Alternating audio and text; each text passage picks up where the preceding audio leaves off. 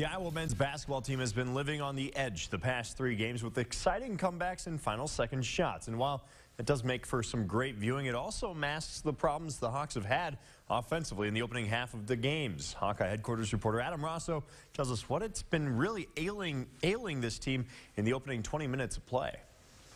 In each of Iowa's three heart-stopping finishes, there's been three dismal first half performances on offense.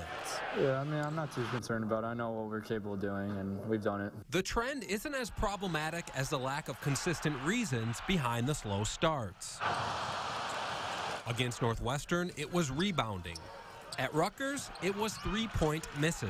I don't think we've been playing bad basketball at all. We haven't been playing, you know, as great as we can, but, you know, uh, basketball's funny that way. You know, sometimes things go your way and sometimes they don't. And against Maryland, first half turnovers hindered the offense. We only had six in the second half. We had eight in the first half.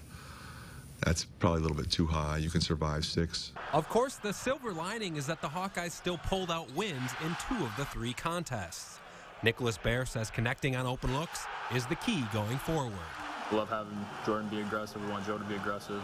You know, all our all our guys to be aggressive and play with confidence. So, um, you know, I don't think there's any one particular reason or one particular thing I'd point at, but um, you know, I have confidence that those shots will fall. And if they do, the victories might come with a little less drama for the Hawks.